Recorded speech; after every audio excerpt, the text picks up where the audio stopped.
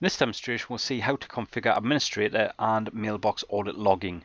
We'll then look at searching audit logs from both the Exchange Administration Center and also as well the Exchange Management Shell.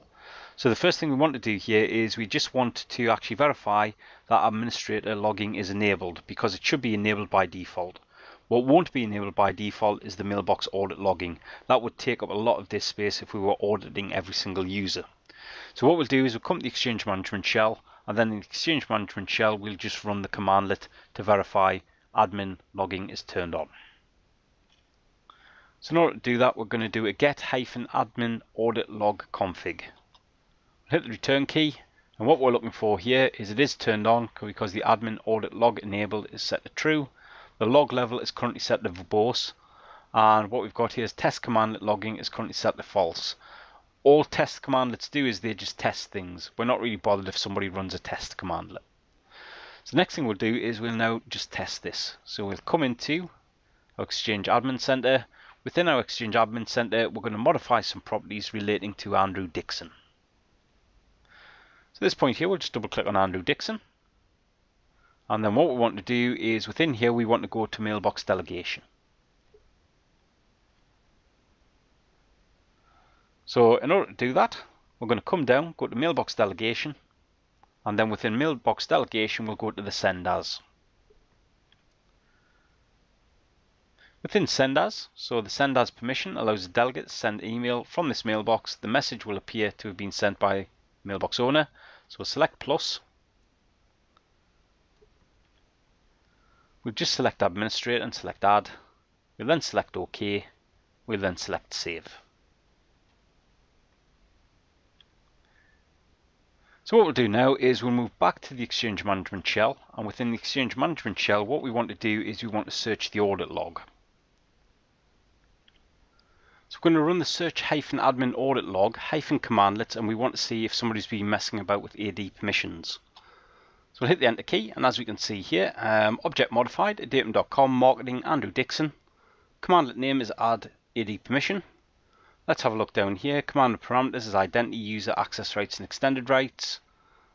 Caller is administrator. So administrator has modified permissions at this point here on our user Andrew. So as you can see here, we have logged those changes. Next thing we want to do here is we want to enable mailbox auditing. So what we'll do is we'll just clear the screen off and we'll just issue the commandlet to allow us to monitor Andrew Dixon. And what I'm interested in auditing here, so I'm going to set the hyphen mailbox, hyphen identity. We're going to go for Andrew Dixon. We're going to hyphen audit delegate, send as and send on behalf of. And what we'll do at this point here is we'll do a hyphen audit enabled and we'll do a dollar true. So let's now set that up. Let's we'll test this. So all we'll do at this point here is we'll just come back to Internet Explorer. And all I'm going to do at this point here is we'll just log out as administrator. And what we'll do instead is we'll come into OWA.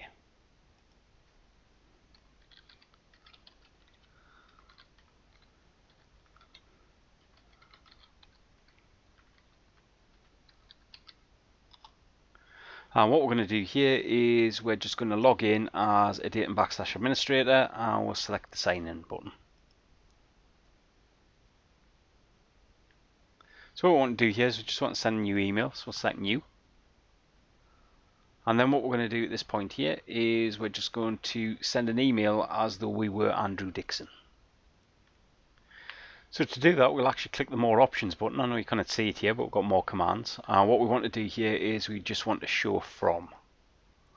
And then what we'll do here in the From tab is we'll change this and we'll change this to be Andrew at datum.com.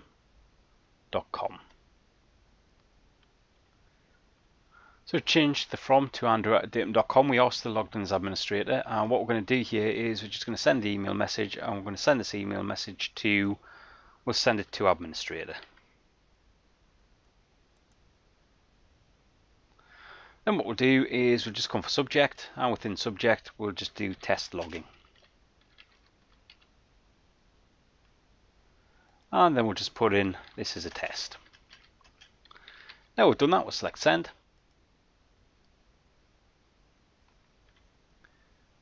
Email message popped up and it looks as though it has indeed come from Andrew Dixon but we've just saw that we did it logged in as administrator and we just changed the from to be Andrew Dixon. So the next thing we'll do at this point here is we'll just go back into the Exchange Administration Center then what we'll do is come to Compliance Management. Then what we'll do is go for auditing.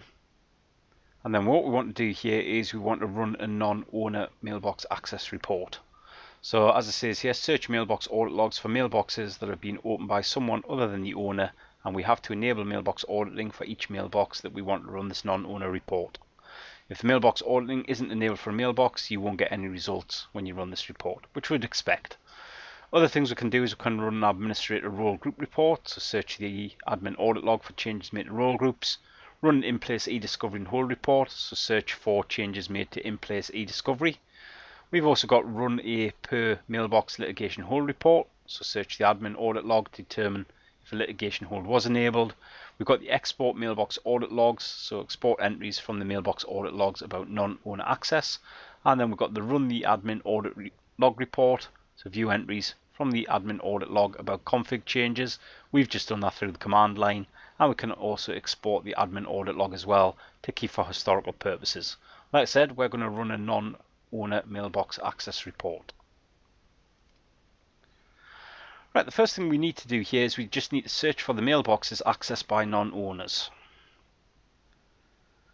So what we're going to do here is we're just going to leave the start date as it is, but what we'll do here is we'll change the end date to tomorrow's date. Then what we'll do is we'll then come in here and we'll search for mailboxes accessed by non-owners. So as it says here, search these mailboxes or leave blank to find all mailboxes accessed by non-owners. Now, uh, for purpose of this demo, we don't actually know who's been messing about with which accounts.